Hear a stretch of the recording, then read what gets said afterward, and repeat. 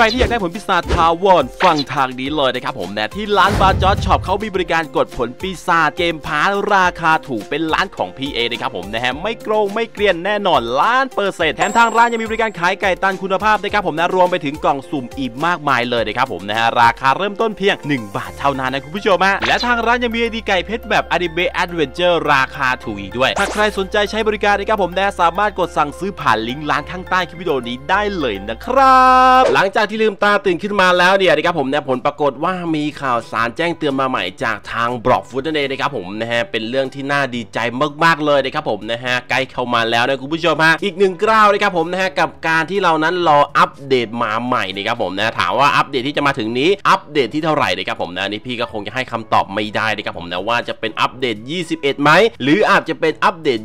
21.1 ก็เป็นไปได้นะครับผมนะคุณผู้ชม ถามว่าอัปเดตที่จะมาถึงนี้มาเมื่อไหร่นะครับับผมนะฮะจากการคาดการณ์ของพี่แล้วเดียวนะครับผมนะจากแหล่งข้อมูลทั้งหลายเลย พี่คิดว่าน่าจะมาภายในปลายปีนี้แน่นอนนะครับผมนะฮะคิดว่าอย่างนั้นนะครับผมนะถ้าไม่มาก็ก็แล้วแต่มึงเลยนะครับผมนะคือมึงจะยืดยาวไปทางไหนนะครับผมนะถ้ามึง spoil มาขนาดนี้ มึงก็ควรที่จะอัปเดตได้แล้วนะครับผมนะฮะอย่างที่บอกนะครับผมนะว่าในคลิปวิดีโอนี้เราจะมาคุณผู้ชมนะนะครับผมนะไป spoil กันนั่นเองนะครับผมนะฮะว่ามีอะไรมาใหม่บ้างในอัปเดตต่อไปนะครับผมนะแต่ก่อนอื่นเลยนะครับผมนะขอกราบสวัสดีคุณผู้ชมทุกท่านที่น่ารักทุกคนเลยที่เข้ามาดูคลิปวิดีโอนี้นะครับผมนะสำหรับใครที่ไม่น่าตาดีก็สวัสดีเช่นเดียวกันนะครับผมนะอย่าลืมฝากกดไลค์กดแชร์กด subscribe กันด้วยนะครับผมนะถ้าใครรับชมคลิปวิดีโอนี้อยู่นั่นเองนะครับผู้ชมคลิปวิดีโอนี้เนี่ยอาจจะเป็นคลิปวิดีโอสั้นๆนะครับผมนะฮะไม่พูดพร่ำทำเพลงกันเยอะก็แล้วกันนะครับผมนะรำพังพี่ก็ยังไม่หายดีนะครับผมนะฮะหลังจากที่ถ่ายคลิปไปเมื่อล่าสุดเนี่ยเหมือนจะหายดีแต่ณตอนนี้เนี่ยรู้สึกว่ามันก็เริ่มเจ็บๆป่วยๆอยู่เหมือนเดิมนะครับผมนะยังไม่หายไปไหนเลย แล้วก็ขอบคุณมากๆเลยนะผมนะสำหรับคำอวยพรทุกอย่างทุกสิ่งเลยนะครับผมนะฮะที่บอกว่า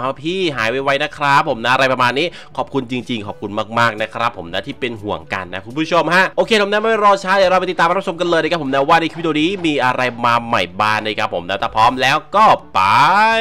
โอเคผมนะเราก็มาอยู่ที่หน้าของทวิสเตอร์กันอีกแล้วนะครับผมนะฮะแล้วก็สังเกตได้เลยว่าจะเป็นทางด้านของผลคิสึเนะนั่นเองนะครับผมนะดูตรงนี้เลยอะคิสึเนะฟุสเนะนะครับคุณผู้ชมฮะซึ่งผลนี้เนี่ยนะครับผมนะบอกเลยว่าค่อนข้างที่จะเอ่ออลังการน่าดูนะครับผมนะและที่สำคัญคือรู้เลยว่ามันโหดกว่าทางด้านของ Big Mom นะครับผมนะหรือว่าผลสปิริตนั่นเองนะครับผมนะเพราะว่าเวลาเราอยู่ในกระเป๋าเนี่ยมันจะจัดระดับความโหดหรือว่าระดับความที่แบบว่ามีราคาสูงนั่นเองนะครับผมนะฮะก็เห็นได้เลยว่ามันสูงกว่าผล Big Mom นั่นเองนะครับผมนะฮะตัดมาดูในเกมนะครับผมนะฮะถ้ามันสูงกว่าระดับผลของ Big Mom เนี่ยมันจะอยู่ตรงไหนนะครับผมนะก็มีความเป็นไปได้นะครับผมนะฮะผล Big Mom อยู่ตรงนี้ใช่ไหมฮะระดับเทียบเท่าเนี่ยน่าจะอยู่ประมาณแถวมังกรกับ Leopard เลยนะครับผมนะอาจจะอยู่หลังมังกร อาจจะอยู่ระหว่างกลางมังกรกับเสือ หรืออาจจะอยู่มากกว่าเสือตรงนี้นะครับผมนะก็มีความเป็นไปได้สูงนะคุณผู้ชมฮะอย่างที่บอกนะครับผมนะว่าผลนี้เนี่ยไม่ธรรมดานะครับผมนะเป็นระดับ Mythic แล้วนะครับผมนะแถมยังอยู่หน้าทางด้านของผลสปิริตด้วย บอกเลยว่าน่าจะแบบอลังการอะไรเวอร์ๆอะไรประมาณนี้นะครับผมนะเป็นสาย Zoan อะไรก็ว่ากันไปนะคุณผู้ชมฮะ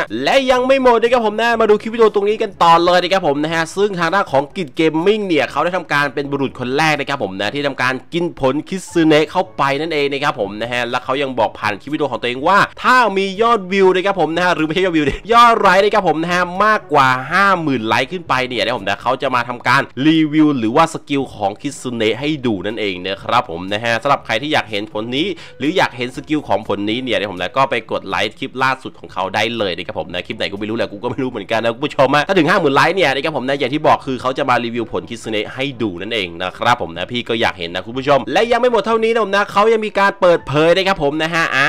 นะครับผมนะทางด้านของรูปร่าง แล้วก็ลักษณะของผลคิซึเนะในเวอร์ชั่นของการที่แบบว่ามันแปลงร่างเป็นสาย Zoan แล้วนั่นเองนะครับผมนะก็จะมีกี่หางวะเนี่ยหนึ่งสองสามสี่ห้าห้าหางเองเหรอใช่เหรอวะไม่รู้นะครับผมนะมันกี่หางกันแน่พี่ก็ไม่แน่ใจเหมือนกันนะครับผมนะก็รูปภาพตามนี้เลยนะครับผมนะหลังจากที่อ่าเมื่อก่อนนะครับผมนะมีการเบลอออกมานะครับผมนะเป็นรูปไหนอะนี่นี่นี่รูปนี้นะครับผมนะฮะตอนนั้นคือเป็นรูปนี้นะครับผมนะแต่ณตอนนี้คือมันมันเห็นแจมแจ้งแล้วนะครับผมนะว่าลักษณะของโมเดลเนี่ยเป็นแบบนี้นั่นเองนะครับผมนะน้องๆ ก็คุณผู้ชมแล้วครับผมนะลองคอมเมนต์กันเข้ามาดูว่ามันสวยหรือไม่สวยนะครับผมนะพี่มองว่ามันดูกังไปนิดนึงนะครับผมนะมันดูแบบว่าแข็งๆทื่อๆยังไงไม่รู้นะครับผมนะถ้าเป็นไปได้เนี่ยอยากให้เหมือนผล Phoenix มากกว่าที่มันมีว่าออร่าไฟนะครับผมนะหยดย้อยหรือไม่ก็พุ่งพรวดอะไรขึ้นไปอะไรประมาณนี้นะครับผมนะแต่รู้สึกว่าโมเดลแบบนี้มันเป็นการปั้นที่จงใจเกินไปนะครับผมนะมันดูแข็งกระด้างนะครับผมนะฮะโอเคผมนะในคลิปนี้เนี่ยก็มีประมาณนี้แล้วกันนะผมนะสำหรับข่าวสารข้อมูลต่างๆ เกี่ยวกับบอกฟุตนะครับผมนะถ้าใครชื่นชอบคลิปวิดีโอนี้อย่าลืมฝากกดไลค์กดแชร์กด subscribe กันด้วยนะครับผมนะเพื่อเป็นกำลังใจในการทำคลิปต่อไปของพี่นั่นเองนะครับผมนะฮะแล้วก็อย่าลืมนะครับคิดว่าน่าจะมาในช่วงของปลายปีนี้ หรือไม่ก็เดือนธันวาแน่นอนนะครับผมนะฟันธงเลยนะครับผมนะ